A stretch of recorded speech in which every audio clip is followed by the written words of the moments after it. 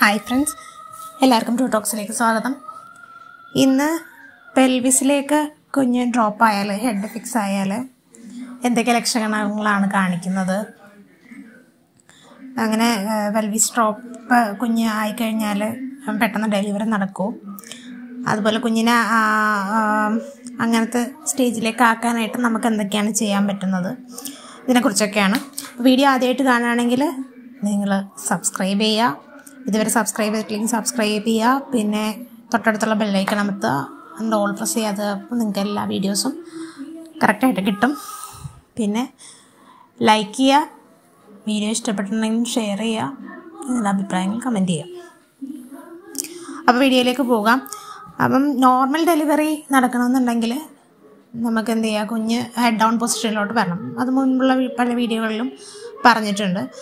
അപ്പം കുഞ്ഞിന്റെ തല സെഫാലിക് പൊസിഷൻ അതായത് കുഞ്ഞിന്റെ തല താഴേക്ക് വരുന്ന പൊസിഷനിലായാൽ മാത്രമേ നോർമൽ ഡെലിവറി നമുക്ക് നടക്കുകയുള്ളൂ അപ്പം കുഞ്ഞ് തല തിരിഞ്ഞ് വന്നാൽ കൂടെ പെൽവിക്സിലേക്ക് ഫിക്സ് ആവാനായിട്ട് പല ടൈമിലായിട്ടായിരിക്കും ഫിക്സ് ചെയ്യുന്നത്. ചിലപ്പം ഫസ്റ്റ് ടൈം പ്രഗ്നൻസി ഒക്കെ ആണെങ്കിൽ ചിലപ്പം മുപ്പത്താറ് ആഴ്ചകൾക്ക് ശേഷം എപ്പോൾ വേണമെങ്കിലും ആവാം. ചിലവർക്ക് അതിന് മുമ്പേ ചിലപ്പോൾ ആവാം. ചിലപ്പം പൊസിഷനിൽ വന്നിട്ട് പിന്നെയും മാറിപ്പോകുന്നുണ്ട് ഫിക്സ് ആയി കഴിഞ്ഞാൽ പിന്നെ എന്തൊക്കെയും ഹെഡ് ഡൗൺ ആയിട്ടും പിന്നെ മാറിപ്പോവും. പിന്നെ ലേബറിനോട് അടുക്കുമ്പോൾ തലതിരിഞ്ഞ് വരികയും അങ്ങനെ പല പല കേസുകളുണ്ട്. അപ്പം കുഞ്ഞ് ഹെഡ് ഡൗൺ ആയി കഴിഞ്ഞാൽ നമുക്ക് കുറച്ച് സിംറ്റംസ് കാണിക്കും. അപ്പോൾ അത് നമുക്ക് മനസ്സിലാക്കാൻ പറ്റും. കുഞ്ഞ് ഹെഡ് ഡൗൺ ആയി. കുഞ്ഞ് ഹെഡ് ഡൗൺ ആയി എൻഗേജ് ആയാൽ മാത്രമേ ഡെലിവറി പെട്ടെന്ന് നടക്കുകയുള്ളൂ അപ്പം എൻഗേജ് ആയി ഉടനെ തന്നെ ഡെലിവറി നടക്കുന്നില്ല. അതൊക്കെ ബാക്കി കാര്യങ്ങൾ അടിസ്ഥാനപ്പെടുത്തിയിരിക്കും. അപ്പോൾ നമുക്ക് എന്തൊക്കെ ലക്ഷണങ്ങളാണ് ബേബി ഹെഡ് ഡ്രോപ്പ് ആയാൽ താഴെ പെൽവിസ് ഏരിയയിലേക്ക് ലോക്ക് ഫിക്സ് ആയി കഴിഞ്ഞാൽ അനുഭവപ്പെടുക എന്നുള്ളതറിയാം. ഒന്നാമത്തെ കാര്യം നമുക്ക് മേൽഭാഗം ഒഴിഞ്ഞതായിട്ടൊക്കെ തോന്നും. കാരണം ഇത്ര നാളും ഈ കുഞ്ഞിന്റെ സ്ട്രെച്ച് ചെയ്ത് നിൽക്കുന്നതാണ് കുഞ്ഞിന്റെ പ്രഷർ കൊണ്ട് ഡയഫ്രോക്കെ ജാമായിട്ടിരിക്കുമായിരിക്കും അപ്പം നമുക്ക് ശ്വാസം എടുക്കാനൊക്കെ ബുദ്ധിമുട്ടായിരിക്കും. അപ്പം അങ്ങനെയുള്ള ബുദ്ധിമുട്ടുകളൊക്കെ മാറും കുഞ്ഞ് താഴേക്ക് ഇറങ്ങുമ്പോഴത്തേക്കും നമുക്ക് ഈസി ആയിട്ട് ബ്രീത്ത് ചെയ്യാനും ഒക്കെ പറ്റും. പിന്നെ രണ്ടാമതെന്ന് പറഞ്ഞാൽ നമുക്ക് പെൽവിക് ഏരിയയിലോട്ട് ഇറങ്ങും നമ്മുടെ വയറിന്റെ അടിഭാഗത്തില്ല അപ്പം അടിവയറിന്റെ ഭാഗത്തായിട്ട് നമുക്ക് വേദനയും ഒരു പ്രഷറും ഒരു കട്ടി പോലെയും ഒക്കെ തോന്നും. മൂന്നാമതെന്ന് പറഞ്ഞാൽ നമുക്ക് പെട്ടെന്ന് പെട്ടെന്ന് യൂറിനേറ്റ് ചെയ്യാൻ തോന്നും. കാരണം കുഞ്ഞ് താഴെ വന്ന് തല താഴെ വന്ന് നിൽക്കുന്നതുകൊണ്ട് ബ്ലാഡറിലോട്ട് പ്രഷർ ചെലുത്തുന്നതുകൊണ്ട് പെട്ടെന്ന് പെട്ടെന്ന് യൂറിനേറ്റ് ചെയ്യേണ്ടി വരും. പിന്നെ നാലാമത്തത് നിങ്ങൾക്ക് ഫുഡ് കഴിക്കാനൊക്കെ നെഞ്ചരിച്ചിലെ പ്രശ്നങ്ങളൊക്കെ ഉണ്ടായിരുന്നത് അതൊക്കെ മാറിയിട്ട് കുറച്ച് ഈസി ആയിട്ട് നല്ല രീതിയിൽ ഭക്ഷണം കഴിക്കാനായിട്ട് പറ്റും.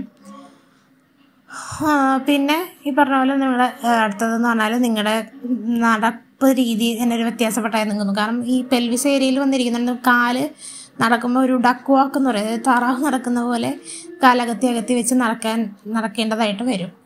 അതും ഇതിന്റെ ഒരു ലക്ഷണമാണ്. അപ്പം നിങ്ങൾക്ക് ആ ഭാഗത്ത് പെൽവിക്ക് പെയിൻ വരും.